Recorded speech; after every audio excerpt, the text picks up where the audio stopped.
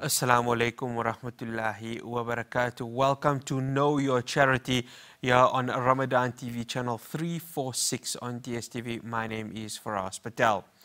The organization that is in discussion today is the Red Cross Children's Hospital. They are based out in Cape Town. And joining me to discuss this, I'd like to welcome the HR manager of this organization, Sister Aisha Solomon. Sister Aisha, Assalamu alaikum wa rahmatullahi wa barakatuh and Jazakallah so much for joining us. Alaikum salam wa rahmatullahi wa barakatuh. Um, Khairul Jaza um, for having us um, on your program today um, from the Children's Hospital Trust.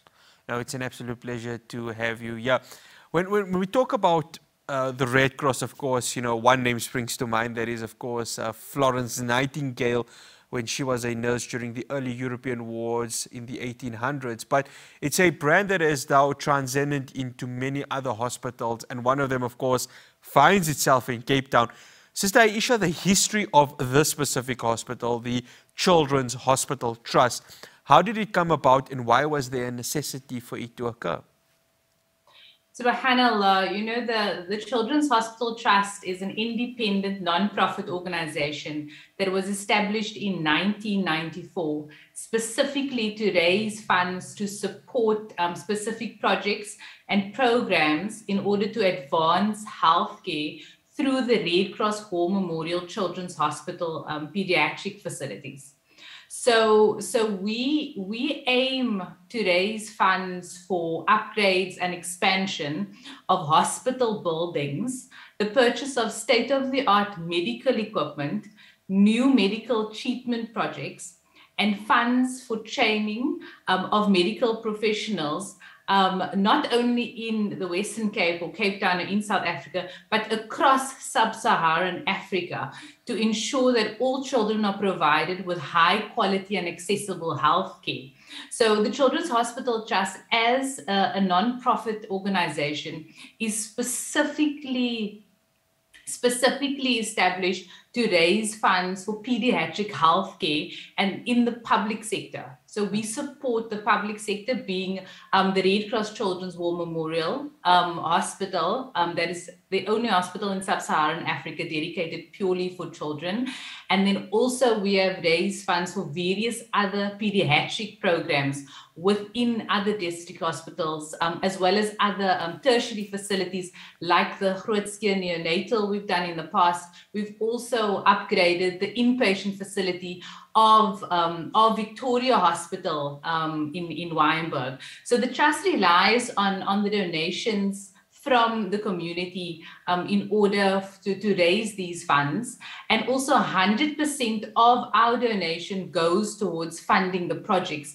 And and in so that this i mean the, the funds go specifically to changing the lives of children. Your funds go specifically in terms of healing um, to those who are most vulnerable in the community. So nothing goes to any administration anything of the sort. So the generous donations goes purely to 100% of the projects that we raise funds for sister aisha you know we know the children are the future and i mean i know it's a cliche that is spoken all across uh, the world but in order to assist them, in order to make sure that they get the best uh, medical health, especially those children who have, you know, certain diseases or just come there for the minor bruises or anything because children play, children get hurt. We all see that happening. But how important is it that children get the best health care possible? Because you know, you can't really rely on the public health system in South Africa. There has to be, you know, other certain hospitals that can cater for children. We know that in the private medical institutions, it's very expensive because you need, of course, medical aid for that. So how important is an organization like the Red Cross Children's Hospital Trust in helping children to get the best and necessary health care? Subhanallah you know this is an organization that um, you know we, we, we aim to to still run very much into the future. And to answer your question i'm going to specifically refer to our current project um, which is one of our sister care facilities um, victoria hospital. And we are currently focused on raising funds for the outpatients pediatric department. Um, so so so this is you know the importance of an organization like this um, needs to be established, and we need to have a specialized entity like the Children's Hospital Trust that is purely focused on enhancing healthcare specifically for children. I'm going to refer to your cliche statement, specifically for our future. Um, and and and our our project now um, for the month of Ramadan, we're aiming to raise three million. This is a smaller piece of a bigger target, which is 10 million of a project that we need to start. So currently, Victoria Hospital is based in Wynberg um, in Cape Town, and the hospital's outpatient facility um, extend, I mean, it runs about five to six clinics on a weekly basis. And this is an outpatient facility that sees over 7,000 patients annually. So, so what happens is that with Red Cross Children's Hospital being the specialist care facility, um, right, and we see it's I think it's close to 250,000 children on an annual basis. But there are times when Red Cross Children's Hospital can't actually, um, you know, access um, all the kids. And for that reason, um, we need sister hospitals like Victoria Hospital. But we also, the Children's Hospital Trust needs to equip the Victoria Hospital with the same facilities as well as the same sub, uh, subspecialist care that we can provide at um, at, at Red Cross Children's Hospital because of the area that it's based in. So, with the Children's Hospital Trust, eh, we are allowing patients and parents that lives within the that sort of district areas um, that includes Wynberg, um, K, Wynberg, Hout Bay, um, uh, what's it, uh, um, Masiphumelele retreat, um, Hangberg, Yetu, um, all of those areas that are close to Victoria Hospital. And I'm sure some of the viewers doesn't even know that, no, have any idea where these areas are, but they're quite farly based. So Red Cross Children's Hospital is based in Rondebosch and um, Victoria Hospital is based in, in Wynberg. And it would take a patient probably about two or three taxis, which is, you know, 100 150 rand to travel to um, all the way to Rondebosch, whereas they can just travel to Victoria Hospital and actually get the care. So these areas that I've mentioned as well are, are, are disadvantaged areas, and most of the community in these areas are either, um, you know, they're unemployed um, and they can't afford the the the um, access healthcare, can't afford to access private healthcare, and hence why they access the healthcare facilities within the public so the public healthcare facilities and and you know we i'm speaking to the viewers out there that the children's hospital trust wants to give communities mm. that i've just mentioned right now the same quality healthcare that someone that can afford to pay for their medical aid and that can afford medical aid on a monthly basis and can afford to go to an inter to a to a private healthcare facility and get this treatment we aim to give this to those that cannot afford to do it Alhamdulillah. One final question before we go to the break, uh, Sister Aisha.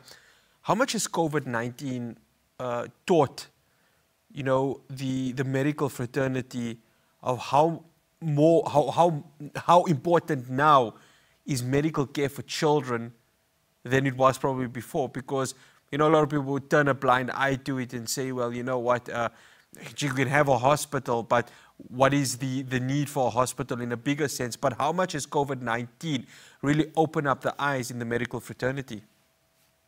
Subhanallah, I think it's, it's, it's, it's not only awoken the eyes of the medical fraternity, but it's also awoken the eyes of the entire community, our national, our local, our national, as well as our international community. And, and I think our, our, not I think I know our hospitals took huge strain during um, you know the peak times of our pandemic. And sadly so i must say you know the, the, the victoria children's the victoria hospital the outpatient department is currently cramped as well as underventilated. So you can imagine what it was like for a child going to victoria hospital and not being able to get the care facility in such that this child that stayed in an area um, like Hangberg or Retreat, where it's easier for them to access a hospital which is on their doorstep, and to then be referred to the Red Cross Children's Hospital. And in such, even the Red Cross Children's Hospital um, at a point was unable um, to give the best care because of, of, of, of, the influx of patients that it was getting, um, not only through inpatients, but also outpatients. So subhanAllah, um, you know, it's, it, it's taught the entire um, community at large so much in terms of the importance of having a healthcare facility that is able to accommodate whatever crisis should come our way. Um, and now we're going to focus on the outpatient department of Victoria Hospital, and they have um, general pediatrics, neurodevelopment, allergies, and infectious diseases. And as we know, COVID 19 is, is, one of the most infectious diseases that has come around in our time. So, so we, we, we purely link to this need and this aid, and even what we have gone through um, with COVID 19. So, there's a huge importance for our hospitals to expand, for hospitals to upgrade, for hospitals to have the healthcare facilities to be able to provide the healing to our most vulnerable in the community. At the same time, for us, we're also caring for the healthcare workers and providing hmm. them with an environment which is conducive for them to actually perform as doctors within the best care and have the best equipment and tools to work with to heal our children so that they can thrive and grow and develop in the community. No, Alhamdulillah. Well, this conversation will continue after the break. I am in discussion with Sister Aisha Solomon from the Red Cross Children's Hospital Trust. Do stay tuned to Know Your Charity. We'll see you after the break.